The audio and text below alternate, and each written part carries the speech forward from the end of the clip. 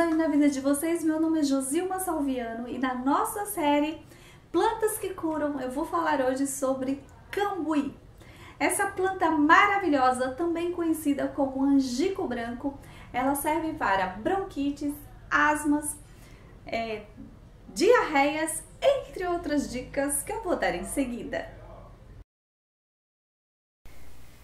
Cambuí Nome científico Pitademia columbrina. Nomes populares: acácia e angico branco.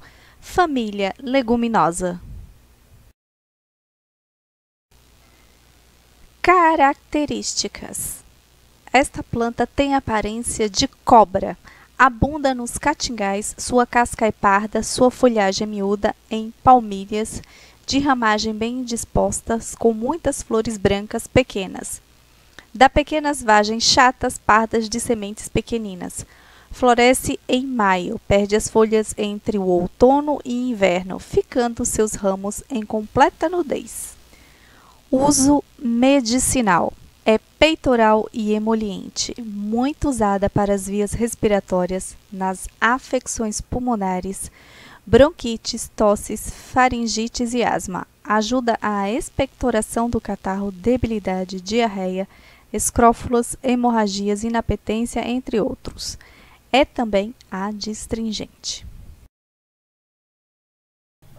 Usa-se a casca e resina, goma, dose 50 gramas de casca ou 25 gramas de resina para um litro de água. Cozinha-se, coa-se e acrescenta-se um pouco de mel. Toma-se desse xarope umas 6 colheres das de sopa por dia.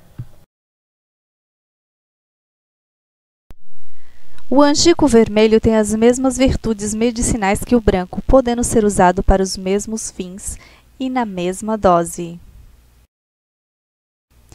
Contraindicações: deve ser evitado por gestantes.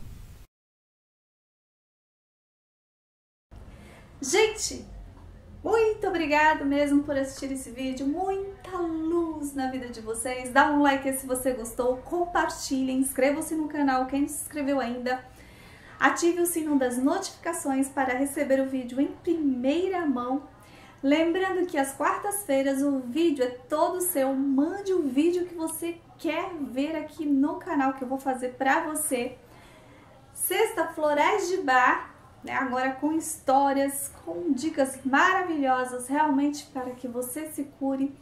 E aos sábados, o nosso curso Artes em Paredes. Deixe sua casa personalizada, linda, né, com natureza ou com desenhos que você gosta e ainda ganhe dinheiro com isso, fazendo para os seus vizinhos, amigos, parentes ou profissionalmente. Um grande beijo, tchau, tchau! e até o próximo vídeo.